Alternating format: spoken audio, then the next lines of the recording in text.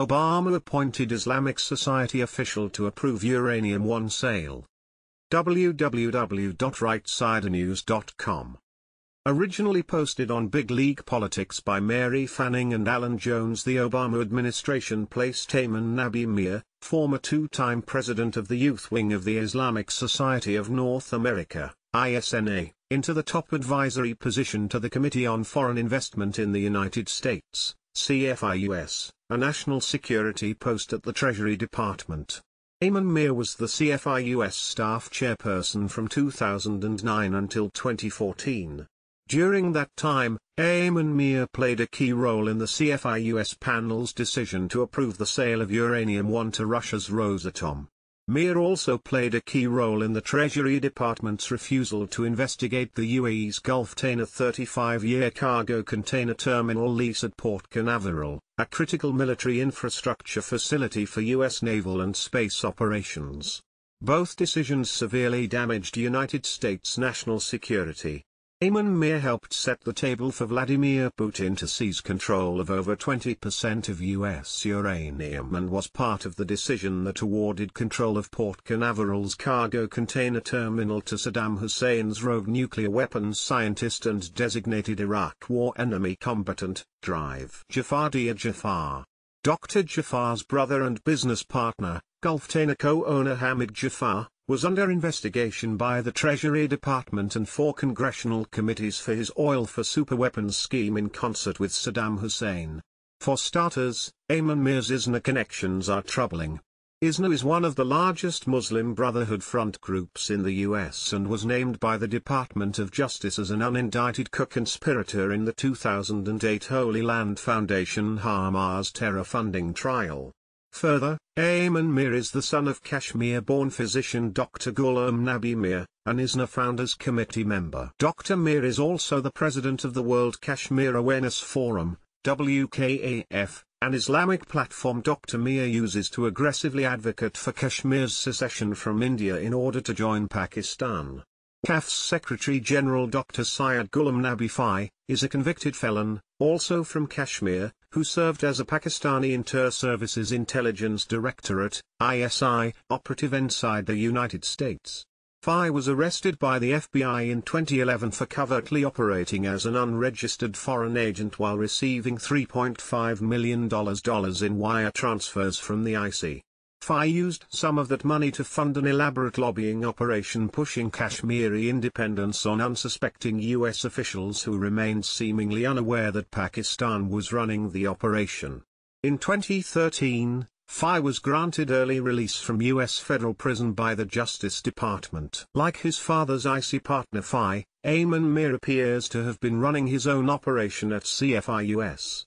Aimen Mir was the CFIUS staff chairperson from 2009 until 2014. During Mir's five years in the staff chairperson's seat, CFIUS approved Russia's 2010 purchase of Uranium One, effectively handing Vladimir Putin control of 20% of America's uranium. Also during Mir's term, the Treasury Department refused to conduct two legally required CFIUS investigations of Port Canaveral's 2014 container terminal lease concession to the UAE's Gulftainer. The Gulftainer deal effectively placed Saddam Hussein's nuclear weapons mastermind, Dr. Jafar Dhia Jafar, along with his longtime Russian KGB-SVR and Iranian regime associates and a UAE emir inside the wire of a national security-sensitive U.S. port. Gulftainer misrepresented its true ownership, facts that Mir could and should have uncovered easily. A World Bank International Finance Corporation, IFC, document, now scrubbed from the IFC website, proved that Gulftainer was owned in part by Sultan bin Mohammed Al Qasimi, the Emir of Sharjah, UAE. Under the Foreign Investment National Security Act of 2007, FINSA, Foreign government ownership of an acquiring entity automatically triggers a mandatory CFIUS review, regardless of whether the transaction is a purchase or a lease. Aimen Mir understood CFIUS and FINSA law and chose to ignore it, as did Treasury Secretary Jacob Jack Lew and Commerce Secretary Penny Pritzker. In 2014 the Treasury Department promoted Aimen Mir to Deputy Assistant Secretary for Investment Security after the Clinton Foundation connected Uranium One and Gulftainer Port Canaveral deals closed. Mir's LinkedIn profile and post-Trump administration inauguration posts show he's still at the Treasury Department, now as a career civil servant. In Gulftainer's case, the supposedly rigorous CFIUS national security review process for direct foreign investment transactions was completely and stunningly bypassed. An email released by WikiLeaks implicates Gulftainer and the Clintons in a pay-to-play operation involving the Port Canaveral deal. Both Uranium One and Gulftainer have deep ties to Russian intelligence, nuclear weapons, and uranium enrichment. Gulftainer has additional ties to the Iranian regime and to the architects of Obama's Iran nuclear deal. Gulftainer Executive Board Chairman Badr Jafar visited the White House in 2014, six weeks before the secretly negotiated Gulftainer deal was announced, signed, and closed.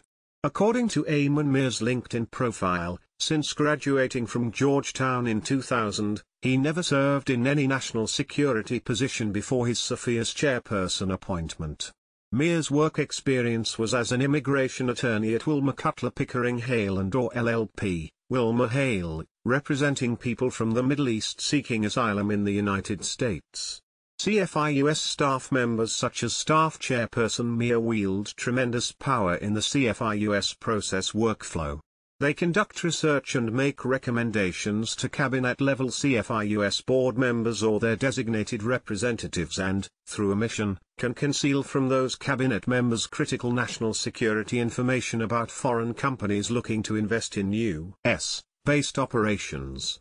If a CFIUS application is approved before advancing from the 30-day initial review to an additional 45-day investigation involving 16 US intelligence agencies, dangerous deals like Uranium One and Gulftainer deals can fly under the radar of the intelligence community. According to a 2015 Breitbart report on CFIUS review of the Uranium One deal, Surprisingly the 2009 annual report submitted to Congress by CFIUS inaccurately described this approved transaction by stating the company acquiring a minority interest was Canadian rather than Russian.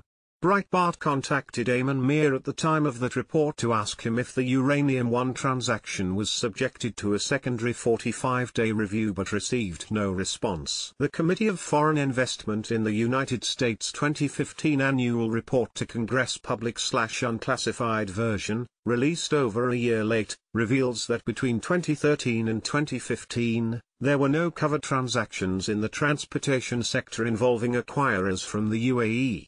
In other words, the Treasury Department determined that the Gulftainer deal was not a covered transaction and therefore CFIUS did not conduct the required investigation of the deal. That determination was likely made by Aimen Mir and it kept Gulftainer and U.S. designated enemy combatant Dr. Jafar off the intelligence community's radar.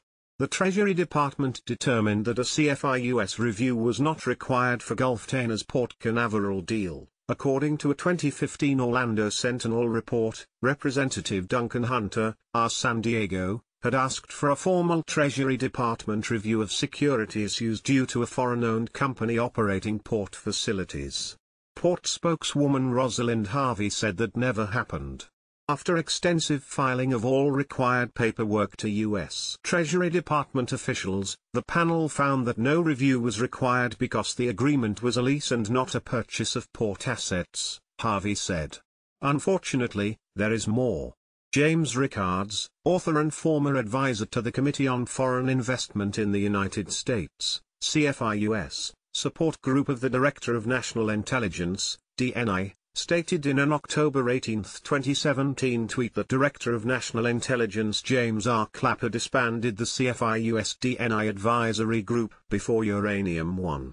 It is noteworthy that Director Clapper went before Congress to testify under oath that the NSA, CIA, and other intelligence agencies were not collecting massive amounts of telephonic and internet metadata on hundreds of millions of innocent American citizens. Revelations by whistleblower Edward Snowden proved otherwise. Subsequently Director Clapper was found to have been untruthful and resigned on November 17, 2016, effective the day Donald Trump was sworn in, January 20, 2017. Clapper has not been prosecuted for perjury. CFIUS rules are clear about what constitutes a covered transaction apostrophe colon considering the post 9-11 national meltdown over the UAE's Dubai Ports World deal. It is inconceivable that the Gulftainer deal would have received approval without a thorough intelligence review. The congressional enactment of the Foreign Investment National Security Act of 2007, FINSA, was designed to heavily reinforce CFIUS in order to prevent a repeat of Dubai Ports World debacle. The Gulftainer, GTUSA, Port Canaveral 35-year concession is subject to CFIUS review because Gulftainer is responsible for safety and security and makes all substantial business decisions at the Canaveral cargo terminal. Gulftainer oversees day-to-day operation of the Canaveral cargo terminal. Port Canaveral is critical infrastructure for commercial maritime, military sea lift, surface naval, submarine naval, commercial space, and military space operations. Gulftainer's cargo terminal is near four military bases, two USAF, one USN, and one USCG. Gulftainer's cargo terminal is near NASA's Kennedy Space Center. Gulftainer's cargo terminal is near the Eastern Range, critical for space missions and missile testing. Gulftainer is partly owned by a foreign government, ruler of Sharjah, UAE. Iraq is involved in WMD production, Jafar family, possibly other senior Iraqi military figures, and in business with Russian specially designated nationals, SDNs. It is unclear how Aimen Mir was able to obtain a security clearance. Also, the real Russia Gate scandal,